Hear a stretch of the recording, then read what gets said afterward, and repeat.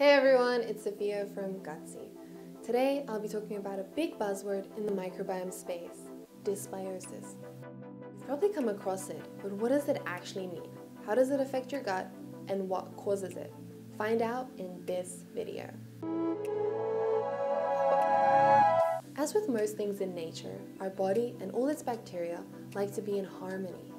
But when your community is out of balance, we call it dysbiosis. Literally, we can define dysbiosis as microbial imbalance in or on the body that can negatively impact health. This imbalance can happen because we lose or gain community members or because of changes in the relative abundance, the percentages of microbes. Most commonly, dysbiosis happens in our GI tract, our stomach and guts. Now, you may be thinking, why should you care?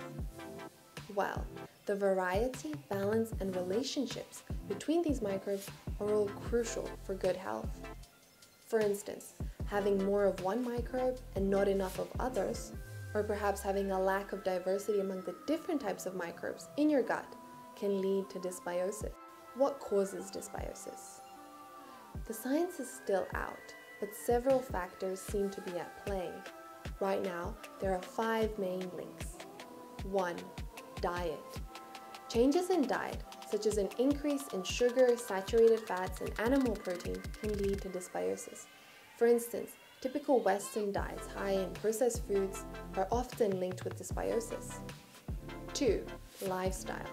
Leading a sedentary lifestyle without exercise, as well as smoking, drinking, and experiencing high levels of stress, all elevate risk for developing dysbiosis.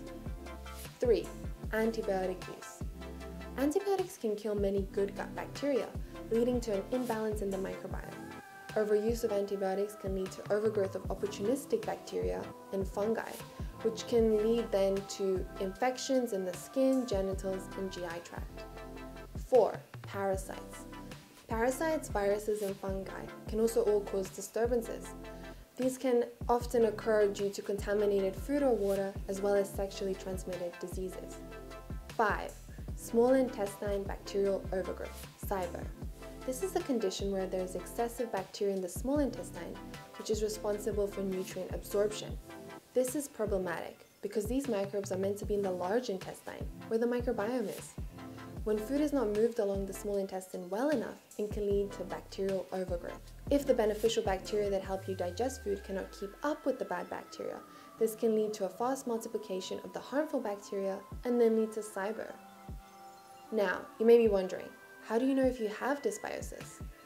Well, there are some common signs or triggers that I'll list now. Dysbiosis is also associated with several conditions, such as irritable bowel syndrome, leaky gut syndrome, obesity, and diabetes. Still, scientists don't know whether it's a cause or effect.